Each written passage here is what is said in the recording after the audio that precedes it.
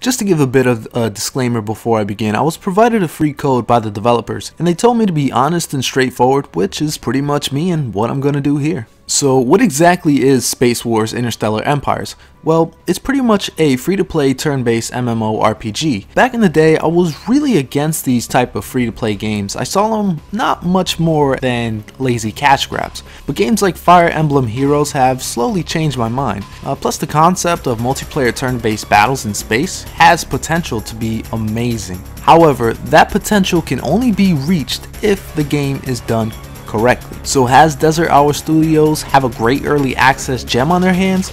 Or is it just another title that serves to fall short and rot away like a dying carcass?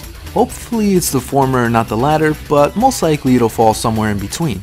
So the first thing you do is you pick a faction and you create a captain from a few pre-made portraits. Uh, this will serve as your avatar. So I selected the Jennari because uh, I like to play as alien races. And currently there's only two factions, but two more will be added later on. So after you get settled and you pick your starting ship, it's recommended that you start the combat tutorial.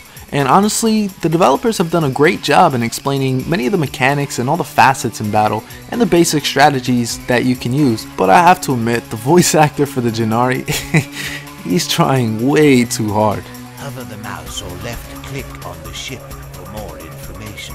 Battles are split into two phases, the allocation phase and the battle phase. You spend movement points in the allocation phase to charge up your weapons, your scanners, shields if you have them, and marine pods if you have them. Once everyone is done charging, the real battle begins and it's time to execute. The person with the most leftover points from the previous phase goes first. That person will then select the weapons that they want to use, bearing in mind that they've charged them in the previous phase, and attack their target.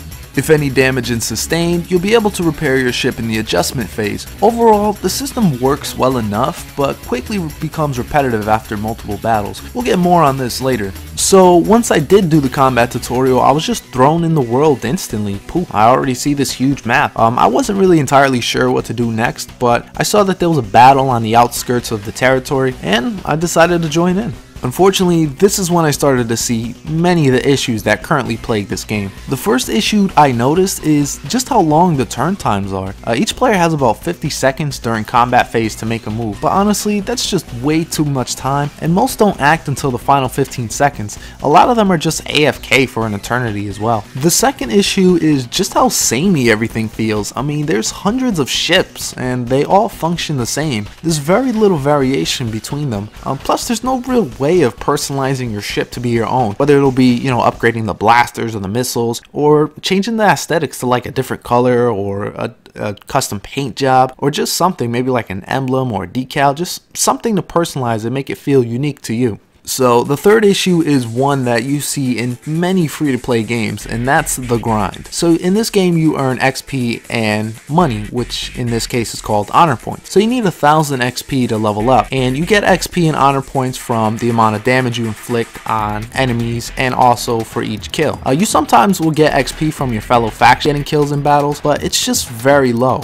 The only really good way to get this is from PvP battles, because if you try PvE battles, man, don't even bother with that. The amount of XP and credits you get is abysmally low, like one experience point for killing the enemy. It's terrible. You'll easily notice how little you're gaining, because once you go to the shipyard and see how much a ship is one rank above you will cost, you'll know it's gonna take some time. The fourth and most glaring flaw is the lack of any battle music or music in general. Think of any great game that you've played that features turn-based combat. I mean, all of them have amazing music. I mean, just listen to these titles. I mean, you have Final Fantasy, Chrono Trigger, uh, the Persona series, Suikoden, Romancing Saga, Fire Emblem, Disgaea. All of them have amazing music, even more obscure ones like Makai Kingdom. And Dynasty Tactics have really great music. Instead, you just get this.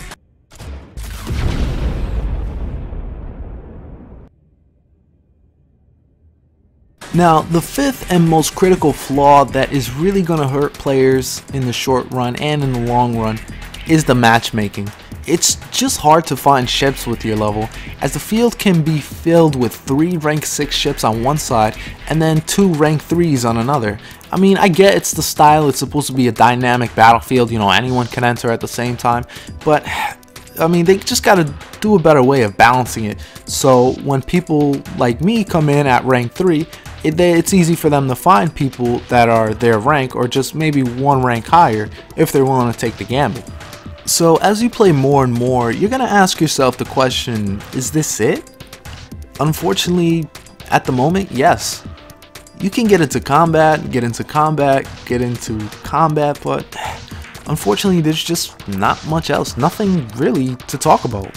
And this brings up an issue I've been having with a lot of modern space games. You know, space games are much more than just combat. Even if that's the main focus, there can still be elements of exploration, discovery, trading, uh, pretty much anything else that you find in many of the great space games of years past, and even ones that are on early access right now. And honestly, there's no real goals outside of leveling up, getting your better ships, and helping your faction. There's nothing else to really help you keep going. So apparently there is going to be a companion book to go along with the game, uh, explaining the lore and the four factions. Um, however, I always look at it that if you need an outside source to help establish the world and why they're fighting, you know, what's going on, then you've pretty much failed at world building. A game should be enough to do this, to build the world for you. A book should just be more, you know, supplementary rather than something that's a must have. So before I wrap this review up, I would like to address the microtransactions. Fortunately, they're done in a way where it's only for cosmetic purposes, as well as respecking your skills. Um, so there's honestly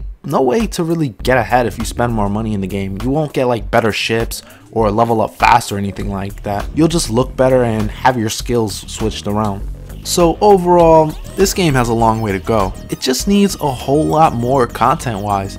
It feels very early alpha at the moment. I mean, one thing that I hope that they do in the future is to expand upon their PvE. You know, give me like a campaign. Give us a campaign that we can go into and each faction with their own campaign. So if you want to take a break from it, you can just go level up and get better with a PvE campaign or just some random PvE missions that are actually rewarding. Or maybe just missions to help diversify the gameplay. So instead of just the regular combat with another ship, you might have to escort a ship, you might might have to retrieve a certain item and bring it back to a certain location. You know, different things to mix it up that you can get away with in PvE and maybe not so much in PvP. Now, while the game is pretty stable and I haven't had any frame rate issues or graphical hiccups, even though the graphics look below average, the gameplay is just not enough to keep me going in the long term. At this point, I can't really say to support it, unfortunately. I just, there needs to be more added to the game and once we get later into the development cycle, then it'll probably be easier for me to recommend it or not. At this point, I'll still look forward to it, but I'm not going to be playing it for a while. Thank you guys for watching as always, and this is Powerhouse, signing off.